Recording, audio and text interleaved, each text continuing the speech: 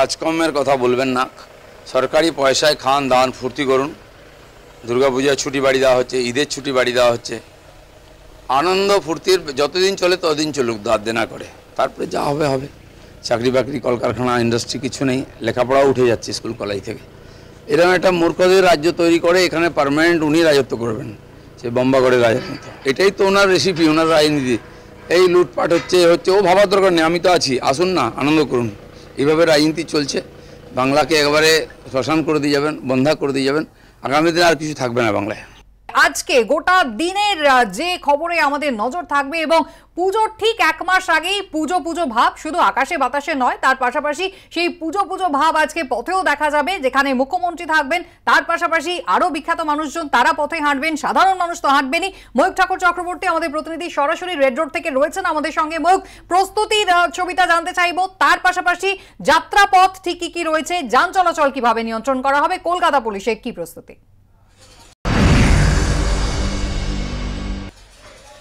একদমই কুসুমিতা কলকাতার দুর্গাপুজোর ইউনেস্কোর যে স্বীকৃতি এবং তারই জন্য কিন্তু আজকের এই শোভাযাত্রা, এই মুহূর্তে আমরা রেড রোডের যে মূল মঞ্চ, তার উপরে রয়েছি। আমি ক্যামেরা পার্সন অতনু কুণ্ডুকে বলব দেখানোর জন্য। এটা রেড রোডের মূল মঞ্চ, যেখানে মুখ্যমন্ত্রী মমতা বন্দ্যোপাধ্যায় থাকবেন এবং এখানে একটা সাংস্কৃতিক অনুষ্ঠান হবে এবং এর পাশাপাশি রেড রোডের ছবিটা এই মুহূর্তে দেখাবো। পুরোপুরি অন্যরকম ছবি রেড রোডের বিভিন্ন দিকে এই ধরনের ফ্লেক্স কলকাতার দুর্গাপুজো ইউনেস্কোর হেরিটেজের তালিকায় অন্তর্ভুক্তির স্বীকৃতি, বর্ণাঢ্য শোভাযাত্রা ও সাংস্কৃতিক অনুষ্ঠান পশ্চিমবঙ্গ সরকারের। রাস্তার দুদিকে এইরকমই কাউন্টার করা হয়েছে এবং রাস্তার মাঝে এরকম সিটিং অ্যারেঞ্জমেন্ট করা হয়েছে যেখানে যেখানে সবাই বসবেন এসে এই প্রোগ্রাম দেখার জন্য। এরকমই ছবি কিন্তু গোটা রেড রোড চত্বরে ধরা পড়েছে। আহ, সব মিলিয়ে চূড়ান্ত প্রস্তুতির ছবি আর কিছুক্ষণের মধ্যেই প্রশাসনের যারা কর্তা ব্যক্তি তারা চলে আসবেন এবং দুপুর দুটো থেকে মুখ সেন্ট্রাল এভিনিউ থেকে এই জোড়াসাঁকো ঠাকুর বাড়ির সামনে থেকে র্যালি শুরু হবে এবং পদযাত্রা এই রেড রোডে শেষ হবে এবং তারপর এখানে সাংস্কৃতিক অনুষ্ঠান রয়েছে।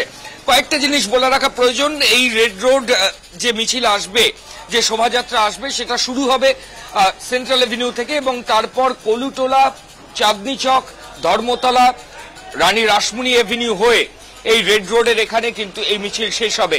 এবং মিছিলের একদম সামনের সারিতে থাকবেন মুখ্যমন্ত্রী মমতা বন্দ্যোপাধ্যায় এবং ইউনেস্কোর প্রতিনিধিরা।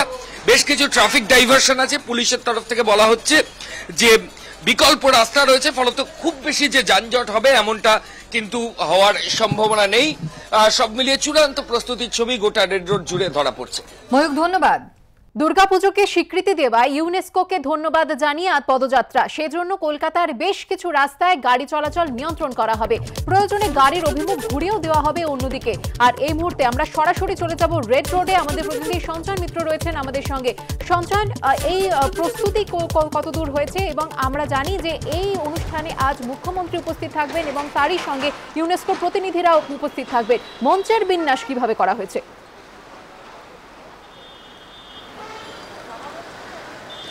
দেখো, আমি এখন রেড রোড থেকে সরে এসেছি গিরিশ পার্কে। যেখানে এই শোভাযাত্রা শুরু হবে, ঠিক সেই মুখে আমি দাঁড়িয়ে রয়েছি। এখানে একটা মঞ্চ করা হয়েছে এবং এটা একেবারে জোড়াসাঁকো ঠাকুরবাড়ির যে মোড়, সেই মোড়ের এখানে মঞ্চ করা হয়েছে। এখান থেকেই মূল যে শোভাযাত্রা সেটা শুরু হবে।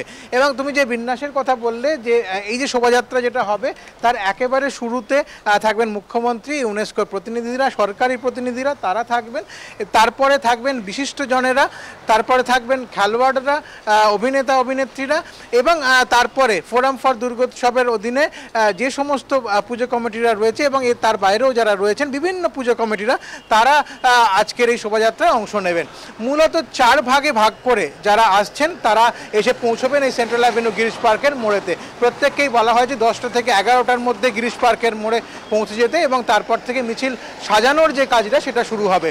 মূলত যেরকম বললাম যে চারটে জোন একটা সাউথ জোন দক্ষিণের দিক থেকে পুজো কমিটিরা আসবেন, একটা উত্তরের দিক থেকে পুজো কমিটিরা আসবেন, দ্বিতীয় জোন আর একটা হলো ইস্ট বাউন্ড এই অর্থাৎ পূর্ব কলকাতা থেকে যে সমস্ত পূজা কমিটি এবং সেন্ট্রাল কলকাতা থেকে যারা আসবেন, তারা একদিক দিয়ে আসবেন এবং হাওড়ার দিক থেকে কিছু পুজো কমিটি আসবেন। মূলত এই চারটে দিক থেকে বিভিন্ন পুজো কমিটির সদস্যরা তারা আজকে আসবেন এবং এই যে চারটে দিক থেকে তারা আসছেন, তাদের গাড়ি রাখার জন্য গিরিশ পার্কের মোড় এবং তার আশপাশের রাস্তাগুলোতে চারটে ভাগ করে এই চারটে জোনের গাড়ি রাখার ব্যবস্থা করা হয়েছে। এখানে গাড়ি ছেড়ে দিতে হবে এবং তারপর থেকে পদযাত্রা শুরু হবে।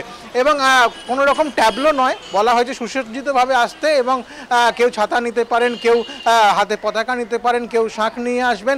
এছাড়া বেশ কিছু আমরা জানতে পারছি, কেউ প্রতিমা নিয়ে আসবেন। এরকম নানান ধরনের মজার জিনিস হতে চলেছে। সুসজ্জিত একটা বর্ণাঢ্য শোভাযাত্রা কলকাতা আজকে অবশ্যই দেখবে।